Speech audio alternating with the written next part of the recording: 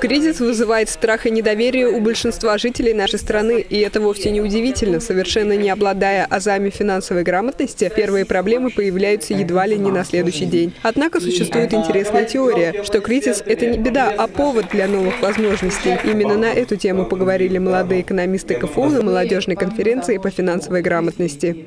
Постоянно наша жизнь окружает финансовые механизмы, финансовые инструменты. И не зная их, человек не может хорошо жить, благополучно жить. И наша цель сделать так, чтобы люди были финансово грамотны и умели правильно использовать свои финансовые инструменты. Финансы окружают нас повсюду, это факт. Умение распоряжаться денежными средствами действительно является не только требованием ко всем специалистам, но и практически каждый день пригождается в повседневной жизни. Человек, который никогда не слышал о финансовой грамотности, обязательно столкнется с рядом проблем чревато тем, что люди будут совершать огромное количество ошибок, да, а, жизнь не будет, а, будем говорить, а, такой спокойной, умиротворенный, а, потому что все а, проблемы да, из-за незнания, из-за непонимания действующего, действующего законодательства. Уникальность проекта действительно многогранна. Ведь теперь молодые люди, вне зависимости от будущей профессии, смогут открыть для себя основы предпринимательства и получить именно те знания, которые непременно пригодятся в их будущей профессии. Адель Шамилова, Руслан Уразаев, Univer News.